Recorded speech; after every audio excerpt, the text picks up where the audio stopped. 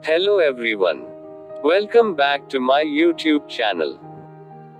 In this video, we will discuss important questions of RTD. That is residence time distribution for non-ideal reactor. Which are mostly asked in an interview. If you know the answer to any question, please comment in the comment box. And if you like my video, please like, comment, share, and subscribe to my YouTube channel which is Chemical adda. So let's see the questions. What is the difference between an ideal reactor and a non-ideal reactor? So ideal reactors are those reactors in which every molecule of reactant spent an equal amount of time or space-time in the reactor.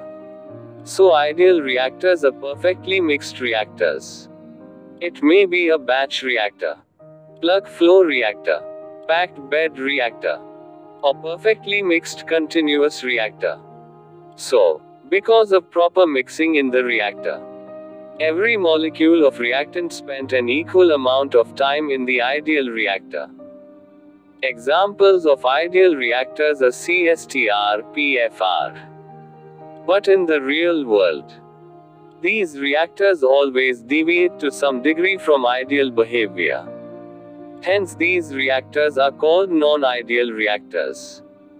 So, non ideal reactors are those reactors in which molecules have different space-time. Hence, non-ideal reactors are also called real reactor. This reactor never fully follows flow patterns. And the behavior of a specific reactor mostly depends upon the extent of mixing. Now next question. Why non-ideal reactor deviates from the ideal reactor? So, Non-ideal reactors always deviate to some degree from ideal behaviors because if there is no proper mixing, that's why the molecules of reactant do not spend an equal amount of time or space-time in the reactor. Next reason is by the creation of nearly stagnant regions in the vessel. So during the process, in some sections of the reactor, Fluid flows very slowly or does not flow at all. Due to this, the effective volume available for reacting fluid reduces. This is shown in the first two figure. Next reason is by bypassing or short circulating the fluid. Next is by channeling. So in short circuiting, the inlet fluid takes a shortcut route to the outlet without undergoing conversion in the bulk of the reactor. The same way channeling occurs in packed bed reactor. Then bypassing. So in a packed bed, the inlet fluid bypasses the catalyst particles to the outlet. Next reason is by recycling fluid. And last reason is due to vortices and turbulence at inlet and outlet. In-plug flow reactor at inlet or outlet. Vortices and turbulence may be formed, which also affects the behavior of the ideal reactor. Hence, because of all these reasons, the behavior of a non-ideal reactor deviates from the ideal reactor. Now next question. What is RTD? Or residence time distribution? So, full form of RTD is residence time distribution. Hence, residence time distribution is the time that takes a molecule to pass through a reactor. That means fluid molecule require time to pass from inlet to outlet of reactor. This time is called residence time distribution. Hence, from RTD, we can tell that how long a particle stays in the reactor. Once entering in the reactor. Then the distribution of time that is RTD. can significantly affect the performance of the reactor. Because, as we know, in an ideal plug flow reactor, all the molecules of material leaving the reactor have been inside it for exactly the same amount of time. Similarly, in the ideal batch reactor, all the molecules of material within the reactor have been inside for the same length of time. Hence, in the ideal plug flow reactor and batch reactor, all the fluid elements have the same residence time. But for a mixed flow reactor, the feed introduced into it at any given time, then it is mixed with the material, which is already present in the reactor.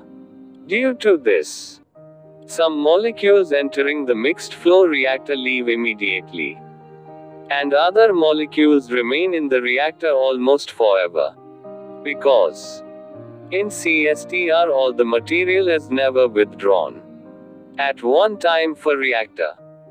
Hence the distribution of time that is RTD can significantly affects the performance of the reactor. Then, the RTD of a reactor is a characteristic of the mixing that occurs in the reactor. Now next question. Define exit age distribution. So, the distribution of times for the stream of fluid leaving the reactor is called exit age distribution. As, in the reactor, every element of the fluid pass through different paths with different length of time. Hence, there is the distribution of these times for the stream of fluid leaving the vessel. Hence, this time is called exit age distribution. It is also called residence time distribution. That is RTD. It is denoted by A. It has unit time inverse. Now next question. How RTD can measured? RTD is determined experimentally by using an inert chemical as a tracer. So at some time t equals 0, tracer is injected near the inlet. And the concentration of the tracer, C measured in the effluent stream. As a function of time. There are two methods for injecting the tracer. First one is pulse input. Second is step input. Now next question. For determination of RTD. In pulse experiment how tracer is introduced. So in a pulse input, an amount of tracer N0 is suddenly injected in one shot into the feed stream entering the reactor in as short time as possible. Then the tracer concentration in the exit stream is measured as a function of time. The graph shows pulse injection. That is, how concentration is changing with respect to time at the inlet of the vessel. And the pulse response graph shows how concentration is changing with respect to time at the outlet of the vessel. The pulse response curve is called as C curve. From the pulse response, we can see that the concentration of tracer in the effluent stream increase with time, reaches a maximum value, and then falls which is approaching zero. Now next question. For determination of RTD. In step experiment how tracer is introduced.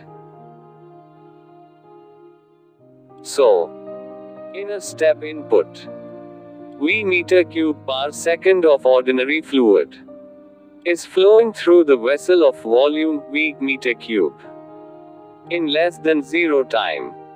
That is t is less than 0. Then, at t is equal to 0, switch from ordinary fluid to fluid containing tracer. with tracer concentration Cmax. That means, at time 0 we start adding a small flow of a tracer to the feed stream and measure the tracer concentration in the effluent stream until after a long time it matches the concentration of the feed stream. Then at the outlet concentration of the tracer. C step is measured as a function of time. Until, after a long time, it matches the concentration of the feed stream. The advantage of this method is the total amount of tracer in the feed over the period of the test does not have to be known. But disadvantages. The concentration of tracer in the feed is sometimes difficult to maintain constant.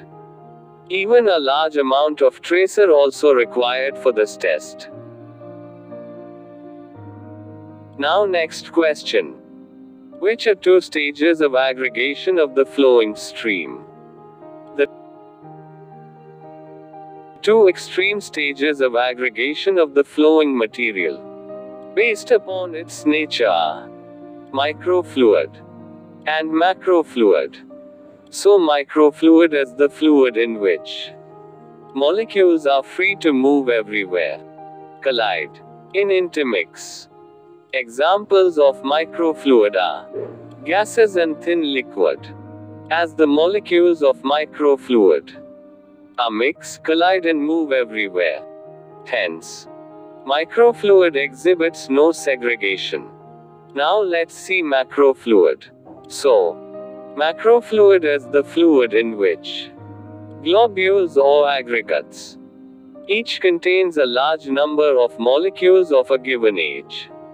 Do not mix with other globules. Is called macrofluid. As the globules or aggregates do not mix with other globules. Hence, macrofluid exhibits complete segregation. Examples of macrofluid are very viscous liquids, non-coalescing droplets. Now next questions. What is the early and late mixing of fluid? So, the fluid elements of a single flowing stream can mix with each other, either early or late, in their flow through the vessel. This is shown in figure. The early mixing and late mixing also called maximum mixedness and complete segregation respectively. Usually, this factor has little effect on overall behavior for a single flowing fluid. However, for a system with two entering reactant streams, it can be very important. Because if two entering reactants A and B are well mixed at the entrance, then they have lots of time for reaction. But, if two entering reactants A and B are mixed at the exit, then they don't have time for a reaction, which is shown in figure. So that's all about RTD. Measurement of RTD. Exit age distribution. Early and late mixing. And pulse and step experiment for RTD measurement. In the next video, we will discuss another set of questions. If you like my video, please like my video. Share this video with your friends. And subscribe to my YouTube channel which Chemical adda.